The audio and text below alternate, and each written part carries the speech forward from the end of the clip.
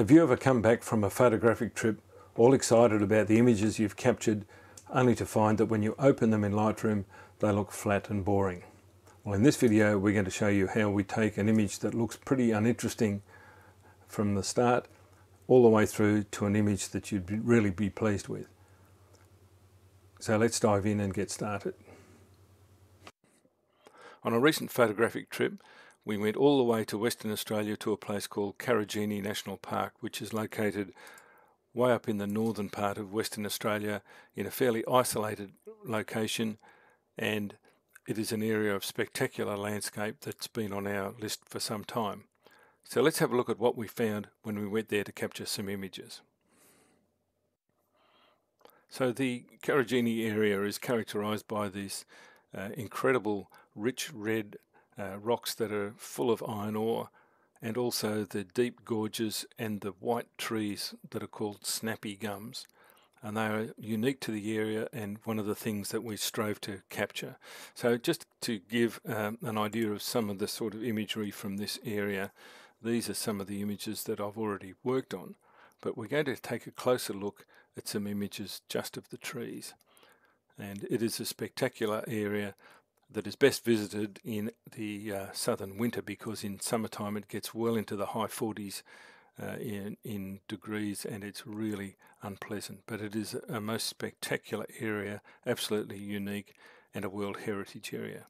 But the, the other thing that's of interest is the snappy gums, which are a unique tree to this area with a bright white uh, trunk and unusual contorted shapes. And on this particular afternoon, we were chasing some light and looking to find some compositions with trees. And you'll see here that we're sort of looking for the compositions. The light was starting to get late in the day and working through looking at a couple of images. And you'll see here that as the sun was going down, the light was getting better and better um, and raking across the, the landscape. But just trying to find the composition that worked was really difficult. And then as the sun got really close to going down, the colours really came alive. And so we've managed to capture a few images that we're pretty happy with. But this is the one that we came up with. And this is the original capture. And this is something like what we got at the end of it. So let's now have a look at how we worked that image up from this into something like this. Now, just before we get into the processing, I wanted to mention that going to a location like Karijini that is uh, remote, and it's also made up of uh, a series of gorges that are also difficult to get in and out of and that follow very contorted shapes so that trying to find the best time of day to photograph inside the gorges is very difficult. And we chose to go with a professional photographic guide who works out of Western Australia. His name's Adam Monk, and I'll put a link in the description. And Adam was able to get us into all of these areas at the best times of day and to find some of the really interesting images that we've got. So, in processing this image, you'll see that um, it was actually taken about half an hour after the sun had set. And if we look at the histogram of this unprocessed version, you'll see that I made a bit of a boo boo here and I underexposed the image. It could have been at least one stop brighter to uh, to give us a better tonal range, but nonetheless, we'll we'll see what we can do to make this image really sing. And um, after sunset, the the light became a lot softer, but there was still colour in the sky that was going to give us the sort of feelings that we really wanted to record from this location. So let's step through the processing piece by piece. So starting with the raw image as captured, we'll step through the processing steps that I've already applied to this image. So if we go back and look at our history, there's quite a lot of adjustments here, but we'll step through these and you'll see just what's happened. So obviously the first thing we did was import the image and you'll see here everything is zeroed and it's as shot. So the first thing I did was dramatically increase the exposure. Now I haven't pushed it all the way up to clip uh, the highlights, but I've it brightened it up considerably, nearly a full stop. And then the next thing I did was obviously looked at the color temperature because it was uh, recorded after the sun had set and the color was quite cool given that the uh, main illumination was from the sky. And then having changed the color temperature, let's have a look at that. It went from 6,100 to 6,800, brightened it up considerably, and then obviously the, this whole scene was lacking in contrast. So I've boosted the contrast quite substantially. And again, it was a little bit of a dance here between exposure and contrast. I've increased the exposure yet again, and I've now pushed the, the brighter parts of the image almost up to clipping, but not quite. And then I've increased the contrast yet again, just trying to get the right balance of feeling. And then I've looked at the color temperature and warmed it up a, a little more you'll see here I've shifted it up a little more. So I'm trying to get to the right feeling of the image as to what I remembered from the scene. And then I looked at adjusting the tint, uh, giving the magentas a little more uh, of a boost here to try and get that closer to what I wanted. And then I started to look at trying to bring back the, the details in the sky. The whites and the highlights have been reduced so that I've still retained some colour and detail in the sky. And then to help things along a little bit, I've applied a little bit of dehaze to try and recover some of this colour that was left in the sky after the sun had set. And then I'm still not happy with the foreground area, so what I did was I boosted the shadows considerably. You'll see here that I've taken the shadows up by quite a substantial amount and already the image is looking quite different from where we started. But we're not done yet, not by a long uh, stroke. Again, increase the contrast to try and bring back some of that punch that was in the original image or was in my mind when I captured the image. And again, push the shadows up a little more and then applied a little bit more of an adjustment to the color temperature. The thing is that you can't really judge the color temperature or the white balance until you've got the tonal range close to what you want. So it's a question of moving backwards and forwards between these settings uh, as you try and adjust it and bring out the details that you want. And again, I've applied a little bit more adjustment to the tint and then I've looked at white balance auto, decided, yeah, maybe that wasn't quite so good, but I've left it in place. And then I've added a sky selection and apply to master that. And using a series of adjustments let's just go back and look at that um, masking using Lightroom's masking tools to select the sky. I've applied um, quite an adjustment to drop the exposure in the sky and bring back some of the color and detail. Now you'll see here that there's a bit of a problem. One of the issues with working in remote areas and areas like this is that whenever you change lenses, there's a risk of getting dust on the sensor, and I got quite a lot of dust spots on this uh, sensor uh, through changing and changing lenses, and it's inevitable that you're going to get some issues. So what I did was um, use the heal tool, the the healing tool, and repaired all of those. We don't need to go through individually, but using the um, let's just demonstrate that, but using the visualize spots option, there's quite a lot of spots there. Let's just come down and pick that up. You'll see that there, there's a lot of spots being uh, identified in the sky and I've um, repaired all of those. So a number of steps there. Ideally, if I'd cleaned my sensor before we went out in the afternoon, I may not have had this problem, but then um, I was able to patch all those up. So then coming down once I've got the sky looking right, I've got the foreground looking fairly close, I've come down to the HSL panel and I've increased the saturation in the oranges. Uh, and this is a tool that's often underutilized by a lot of people to adjust the individual saturation and or luminance of individual color channels. And here I've, I've adjusted not only the orange, the yellow and the green just to try and give a little bit of a shift to the colors and brighten things up a little bit more. And by using adjustments to the individual color channels, you'll see here that I've increased the magentas, the greens, uh, the yellows, orange and red, and in some cases I've also increased the luminance of some of those color channels just to get that uh, shift. So if we go back to what we had before and then up to what I finally adjusted, you'll see here there that it's shifted details in the image and brought out some more of those colors. Um, and then at that point, I've gone back to my basic panel and decided that we need to add a little bit of texture and clarity to bring out the finer detail in the image. And let's zoom in and have a look at this in the foreground. Um, before we've added the texture and clarity,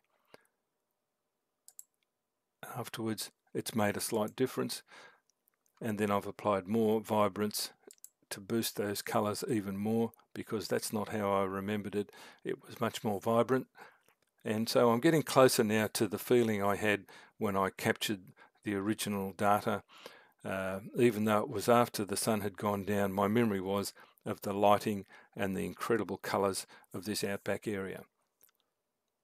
And then finally I've gone back in and boosted the exposure a bit more and I've moved the blacks. So it's a process of iteration of adjusting different settings and then refining and refining, but all of this can happen fairly quickly. So we'll move on now to looking at, I've adjusted the highlights in the masking of the sky and then found that the blue area was getting a little bit too blue, so I've reduced the blue saturation and I've increased some of the other colors. And you'll see here that there's there's a massive difference that comes in once you start to to bring in those uh, fine-tuning adjustments. I've brought back a lot of the color that was in the sky where the sun has gone down and left this orange glow in the horizon and that's often largely from dust that's been floating around in the atmosphere but you'll see that often in this outback area. So I've worked my way through doing a few more um, adjustments of the HSL panel just to get it the feeling the way I really wanted it to be and working through the images. And I've then added a, a brush and painted in just along this horizon line because we've started to get a little bit of a lighter section there and I wanted to bring that in. So let's just um, bring all those in. And again some more toning and mucking around with colors to really start to bring that vibrance up. And you'll see that with just increases in saturation on particular channels you really start to bring the color out in the image as you recall it. And then on the on the masking for the sky, I found that it was just getting a little bit too uh, saturated, a little bit unbelievable. So I took that saturation back a little bit and just tweaked things just a little bit to get them closer to how I felt. Bearing in mind that each of these steps you're going through and looking at the image and reassessing how it's going to look. And then finally, just a few minor more tweaks on the temperature and tint on the basic panel. Let's just go back and see where we were. So I've dropped the color temperature slightly and increased the tint slightly, added a bit more texture and vibrance, and then finally I should have gone in earlier and taken the chromatic aberration out of the lenses because it's uh, set at a fairly wide angle and we want to make sure that we're not picking up any color shifts at the edges of the image. And then I've gone through and updated all those brushes, um, particularly because all of those spots were still visible. And let's go all the way up here and look at what we've done. You can't really see it here, but I've tweaked the exposure added a few more healing areas into this sky that was really um, starting to get problematic and you'll see now that once I've got it to that point if we go back to looking at um, where we started from it looks like a lot of steps but a lot of these are quite quickly done if we look at the original image that looked pretty uninteresting but with some careful adjustments we've got an image that we're much more happy with. And now moving into Photoshop, having done all of the heavy lifting in Lightroom, we can apply some extra finesse in Photoshop. So let's look at that now. So you might think that there's enough adjustments being done in Lightroom to make this image more than acceptable, but there are a few extra tweaks that I like to use uh, for my style of photography that are only available or can only be used in Photoshop the way I like to use them. So the first thing that we've done is we've we've brought this image into Photoshop and you'll remember that in the processing in Lightroom I did nothing with the uh, sharpening or noise reduction because I found that even with Lightroom's new noise reduction filter I'm still getting better results using a third-party plugin such as um, Topaz Denoise. So the first thing we will do is we'll have a look at, we'll zoom in to a reasonable amount and look at this image. Uh, let's have a look at 50%. And what I did was I took it into, made a duplicate layer. You don't need to do that, but this is for illustration purposes. I made a duplicate layer and I applied some denoise and that also applies a bit of sharpening and we may not see it so much here but certainly down in the grey areas or the other tonal areas let's zoom into 100% so that we can see it a little more clearly um, it certainly does bring out more of that fine detail in the image and uh, you can apply this and then blend it if you want to in Photoshop whereas using uh, Lightroom's tools you can't really apply them as we can here. And you'll see here that in the background there is a road that I've left in the image. I don't really mind that because it's showing us the setting. Some people might uh, dislike that. But certainly when it comes down to improving the fine detail, it may not be particularly noticeable here. We're going at 200%. Um, but on pretty much any image that you uh, want to work with, you'll find that there's not only just a little bit of noise incorporated in the image, this was shot at 64 ISO, but because it was a long exposure, there will be some noise in the image, and it also helps to bring back some of the fine detail. So let's zoom back out and fit screen with that, and we can work from here. So the first thing I did was apply Topaz's uh, denoise that also includes a little bit of sharpening and that just brings out a little more detail in the image. But I found then that I was still looking at this image and there was a, still a bit of a problem there with some of those pesky spots in the sky. So what I did was I made a copy of the sky part of the image and pasted it in on a separate layer. And then I applied some blurring to that layer. And let's just turn that uh, layer mask off. Made a copy of what I had selected as the sky. And you'll see here that with the blurring filter applied which was quite simply using the Gaussian blur filter from Photoshop I applied a certain amount of blur to the sky because there's no detail in this part of the sky uh, you don't have to worry about keeping detail fine but what I did then do was apply a mask to the image. Let's just overlay that.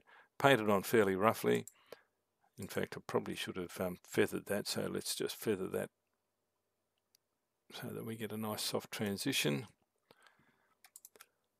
And so we've got this part of the sky that had those problem blotches still in it. We've blurred that part of the sky and made it much more pleasing and removed those nasty little artifacts. And the next thing I like to do is I like to apply a Silver Efex Pro filter to the image but blend it to luminosity and the Silver Efex Pro brings out a lot of mid-tone contrast and if you're not um, a user of the Nik products you can use, use another filter in Photoshop called the high pass filter that does a similar thing I don't think it does as good a job but let's just zoom in and have a look at what happens when we apply the high structure smooth filter in this case, uh, blended to luminosity, you'll see that it brings out a lot of mid-tone contrast that then really helps that image jump off the screen and certainly jump off the paper. Uh, let's just move back here. Uh, certainly lifts in these areas, boosts that mid-tone and we use that filter if you're a Nik user you'll know how to access the Nik filters using the Nik menu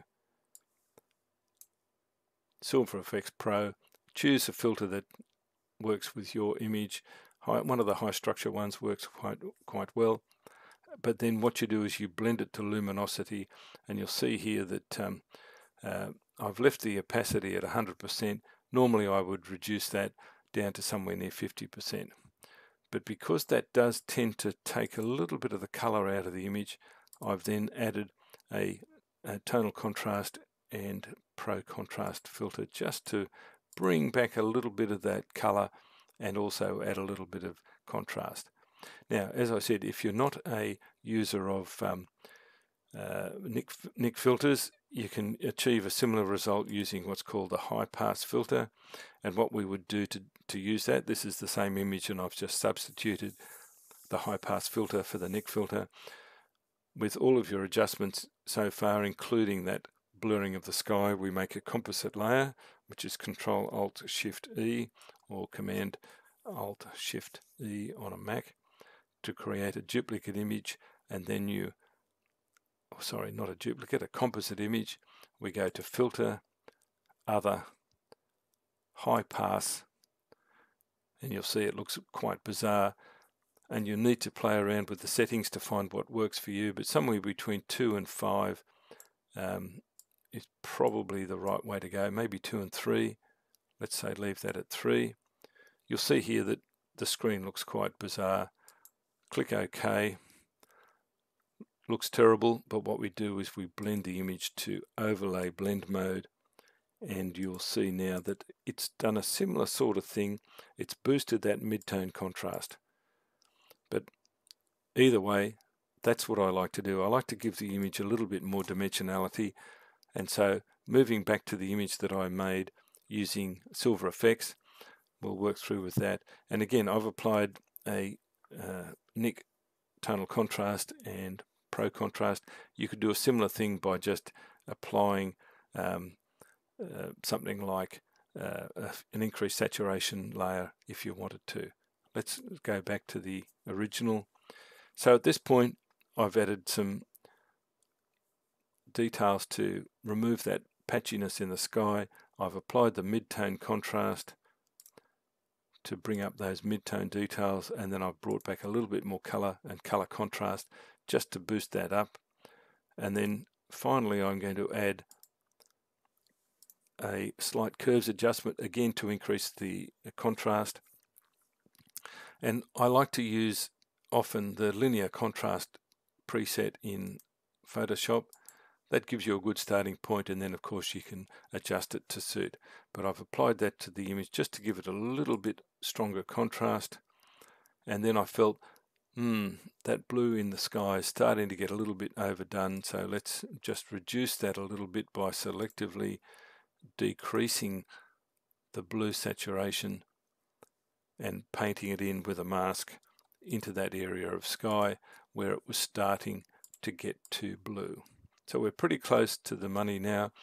And then finally, I just find, uh, applied a very slight vignette to just concentrate the viewer's attention on the middle part of the image. And that's our final image. So if we go back to look at where we started with the image as captured,